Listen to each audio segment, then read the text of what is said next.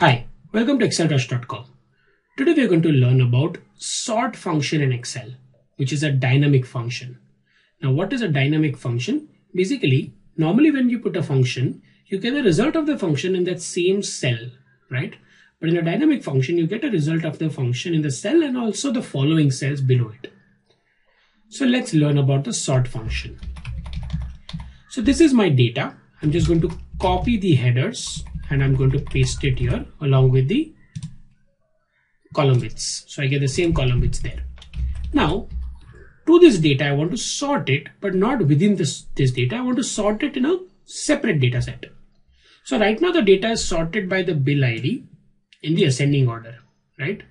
What I want to do is I want to sort this data by the SKU, which is the product name, the SKU name. And within that, I will also want to sort with the city, which is a second level. So first we will learn a one level sorting and then we will learn a two level sorting. So to do a one level sorting, you got to use equal to sort.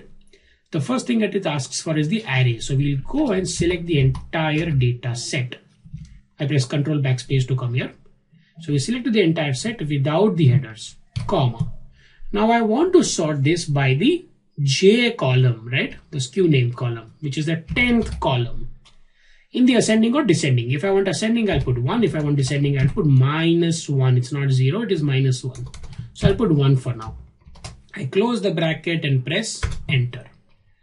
And you see that this data has got sorted by the SKU name in the ascending order.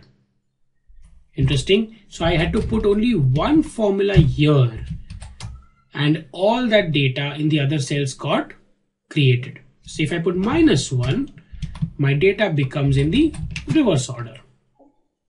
So this is how you create a sorted data with a sort function but with one layer, right? With only one layer. Now we're going to create a multi-layer sort. So I wanted SKU name wise and then within that city wise, right? So I'm not going to use the sort function anymore. See, when I delete that function, everything is deleted. I'm going to use the sort by function. Again, in this, the first thing is array. So I'm going to take the array, control backspace. Now see, I have taken A2 to L9855, all right? The first array that I want to sort is the SKU name. So I got to select that entire column, control backspace, comma.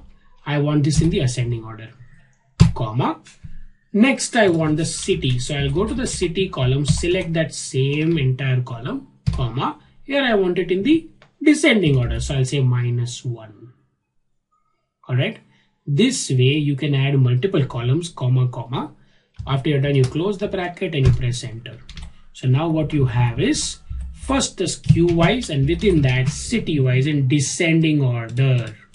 So here after you see SSSS which is again in descending then you R then you say P then you say O and so on. So this is how you sort on multiple layers. Thank you for watching. Please like share and subscribe the video to share it with others. Thank you so much